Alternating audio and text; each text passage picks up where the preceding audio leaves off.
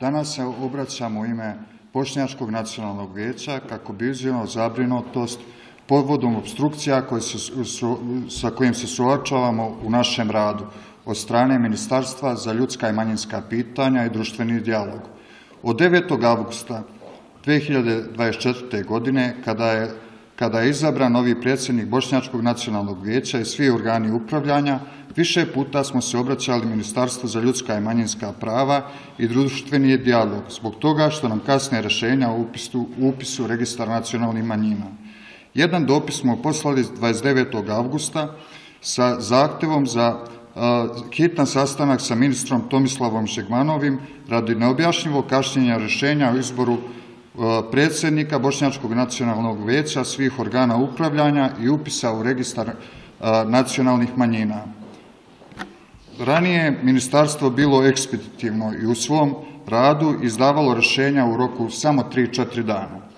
Tada smo dobili uvjerenje iz ministarstva telefonskim putem da su rješenja gotova i da se čeka potpis ministra.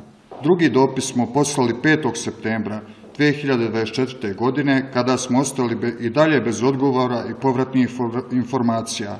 Naprasno, pred ovu konferenciju, kada smo je zakazali, stiglo je, stiglo je rješenje iz ministarstva 17. septembra o upisu promjena podataka u registar nacionalnih manjina, a zbog procedure su osporeni organi upravljanja Bošnjačkog nacionalnog vijeća.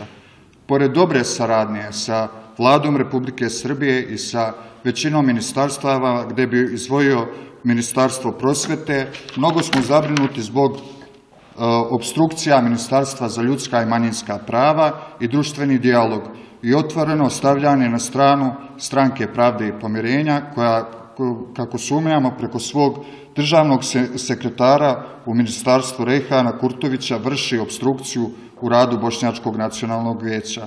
Ministarstvo umjesto da bude servis i najbliži saradnik Bošnjačkog nacionalnog vijeća otežava rad istog.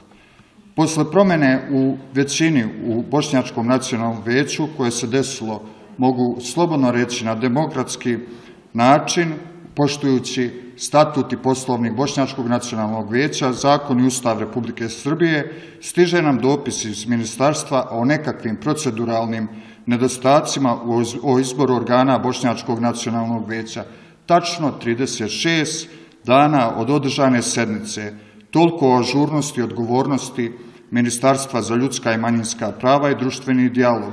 Ako je i bilo proceduralnih propusta, trebali smo biti ranije obavješteni da što u kraćem vremenskom intervalu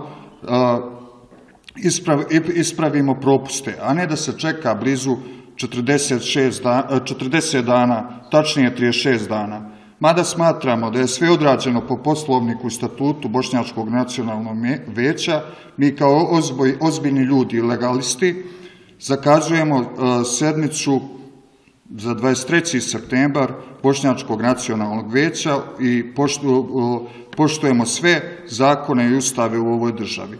Imamo želju i spremnost za saradnju sa ministrim Žigmanovim. Prvo moramo znati da li je on adresa za saradnju ili je državni sekretar u ministarstvu Rehan Kurtović koji se bavi uskostranačkim interesima stranke pravde i pomirenja.